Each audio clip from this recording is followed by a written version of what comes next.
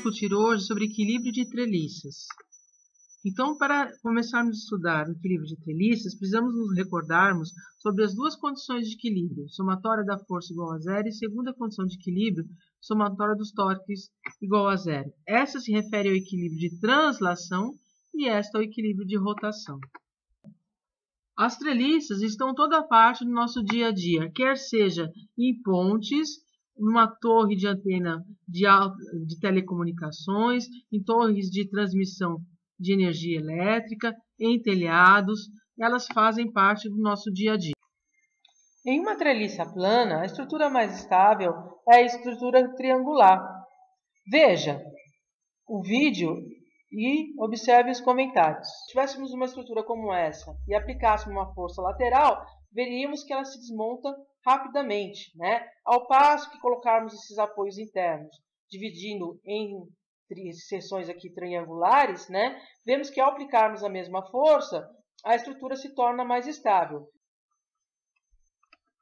Treliças, né? Então, a primeira suposição que a gente faz quando vai resolver treliças é que o peso dos elementos que compõem a treliça são, é, um, é um desprezível, né? Porque ele é muito pequeno quando comparado às forças que os segmentos, que os elementos suportam, ok? E um elemento de duas forças, né? Temos as forças de tração, que são as forças no sentido de distender o elemento, e as forças de compressão, que são no sentido de diminuir o elemento. No, neste primeiro ano, utilizamos o método dos nós para resolvermos as treliças. Né? Então, aqui temos um exemplo de um elemento com a força de compressão atuando nele, né? e por ação e reação, a força de compressão atuando no nó. Aqui um elemento, a força de tensão atuando nele, por ação e reação, a força de tração atuando no nó. Ok? Bom, vamos ver agora um vídeo exemplificando as forças de tração e compressão nos elementos que compõem a treliça.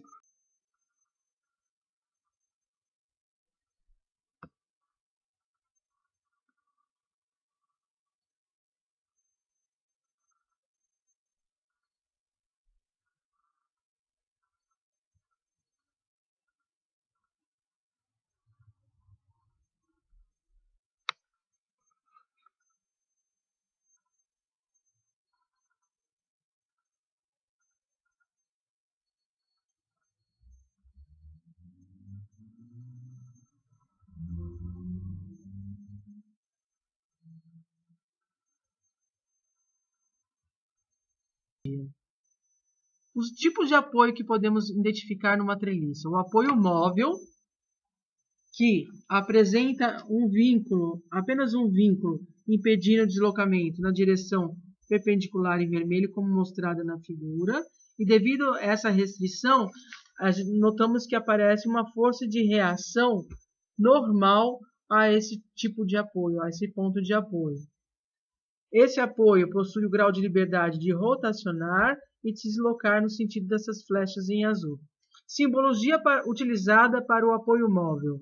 São essas três aqui, que vocês vão poder identificar no livro texto de vocês, que é o Méria de Mecânica Estática. Então, o DCL característico desse tipo de apoio, a força de reação normal a esse ponto de contato. O outro tipo de apoio que podemos identificar entre listas é o apoio fixo.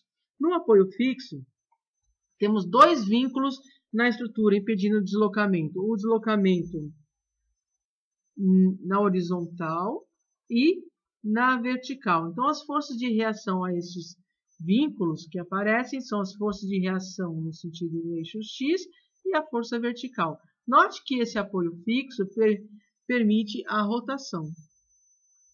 Ok? Aqui temos um exemplo prático de um apoio fixo que era uma estação de Santiago, que virou um centro cultural. Ok? Então, simbologia utilizada, DCL. Retornando um pouco à transparência anterior, aqui teremos, temos um exemplo de apoio móvel na ponte Millennium, sobre o rio Tamisa.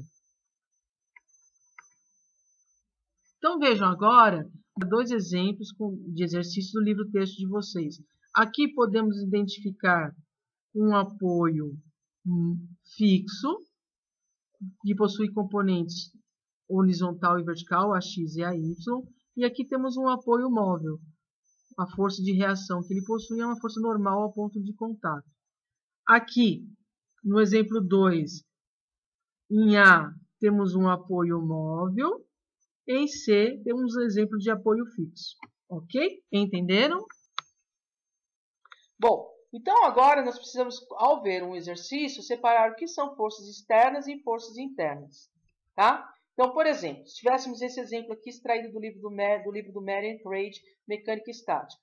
Né? Então, teríamos essa treliça, aqui teríamos um apoio, cujas forças de reação teriam componentes, componentes horizontal e vertical. Esse pedaço está preso na parede, tá?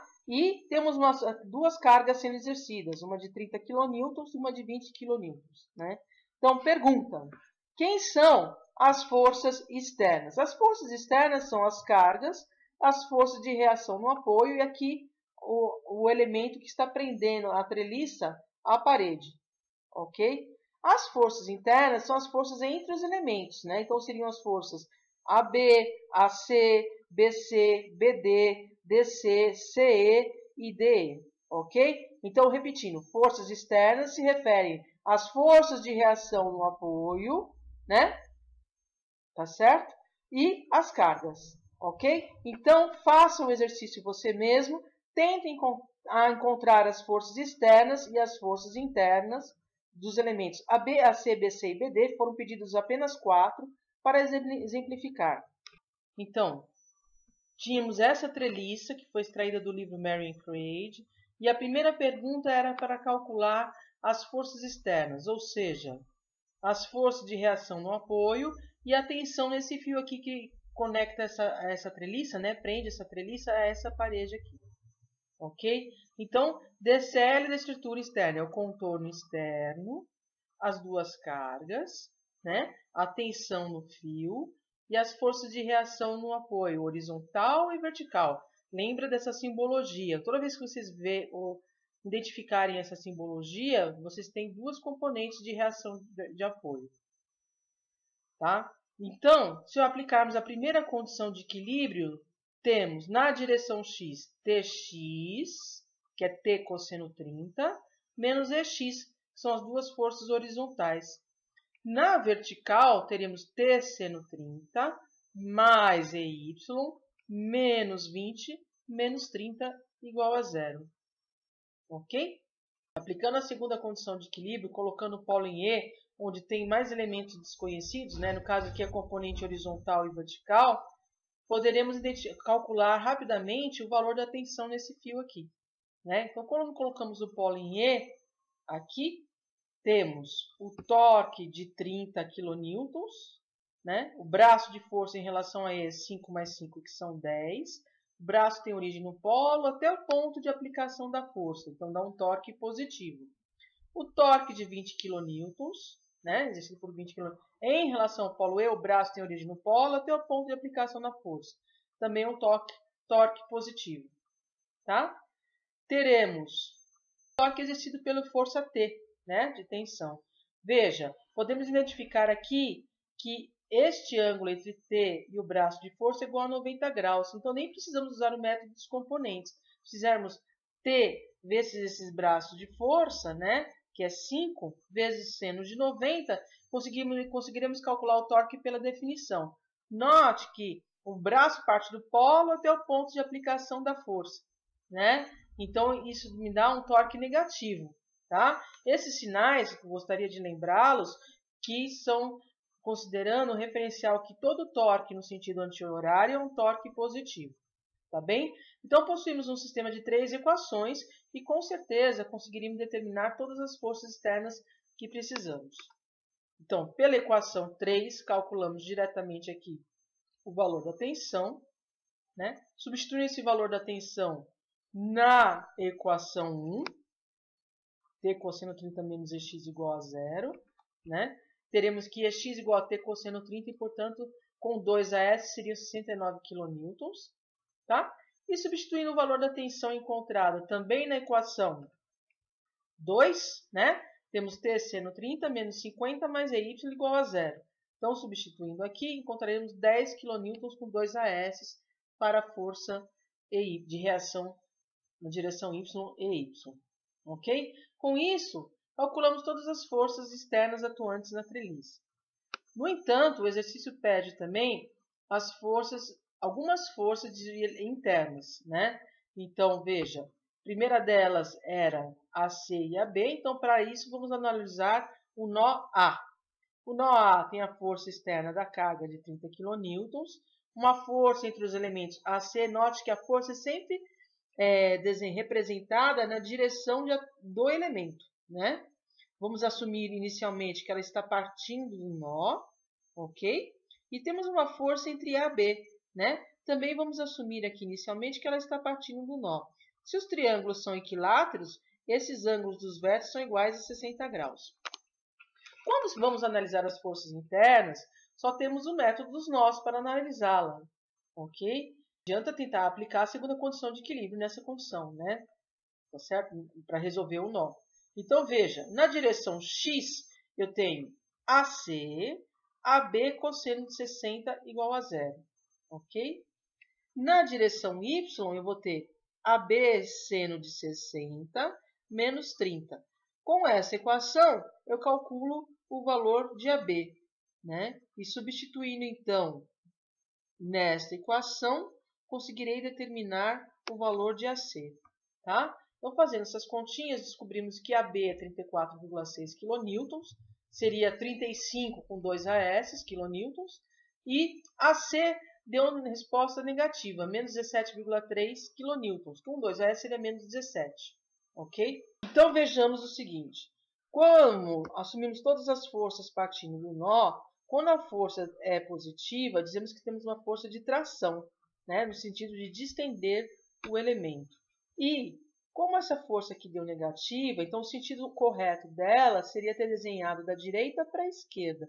Então, como é, esse sinal de, de negativo está indicando que é uma força de compressão. Ok? Agora vamos analisar o nó B para encontrarmos as, forças, as outras forças internas solicitadas, BC e BD. Bem, se assumimos AB partindo do nó A como sendo uma força de tração no nó, quando formos representar o nó B, temos que manter uma coerência e nos lembrarmos da terceira lei de Newton, do par ação e reação. Então, existe uma força de mesma intensidade, mesma direção, mas sentido contrário, que também atua no nó B. Ok? Existe também uma outra força interna entre B e D e uma força entre B e C. De novo, como suposição inicial, vamos admitir elas partindo do, que elas partem do nó, ok? Representando aqui nosso diagrama XY, né? Podemos aplicar então a primeira condição de equilíbrio, já que a segunda condição de equilíbrio para forças convergentes não é possível aplicá-la. Bom, na direção X temos BD, BC. Bem, se o vértice do triângulo equilátero tem 60 graus, cada ângulozinho aqui em relação ao eixo y tem 30 graus. Se isso daqui forma 90 graus, esse ângulo aqui é igual a 60 graus. Ok? Então, temos BD, BC cosseno de 60, menos AB cosseno de 60. Só que AB, a gente já concluiu que o valor do módulo de AB é 34,6 kN. Ok? Então, essa seria a minha equação 1 para o nó B. Na direção y, temos menos AB, né? Então, estou fazendo em relação a esse ângulo aqui, né? a projeção. Menos AB seno de 60, menos BC seno de 60. Isso, como seno de 60, o ângulo é o mesmo, né, nos dois termos, me permite concluir que BC é igual a menos AB. A mais AB nós já tínhamos determinado, que é igual a menos 34,6 kN. Ok? Então, substituindo esse valor na equação 1, né, teremos menos 34,6 cosseno de 60, menos 34,6 cosseno de 60. Isso, passando para o lado direito da equação, dá mais 2 vezes 34,6 cosseno de 60, que é igual a 34,6 kN. Ok? Notamos, então, que BD me deu um resultado positivo. Isso indica que o sentido assumido inicialmente está correto. No entanto, BC me retornou aí, na hora que eu calculei a primeira apliquei a primeira condição de equilíbrio, um valor negativo, né? Então, BC, inicialmente, eu admiti uma força de tração, mas, de fato, ele é uma força de compressão, deveria ser adotado no sentido oposto. Então, como resposta das forças internas solicitadas, temos AB, 34,6, força de tração, AC, 17,3, compressão, BC, menos 34,6, compressão, e BD, 34,6, tração. Notem que precisaríamos agora, então, ajustar os AS.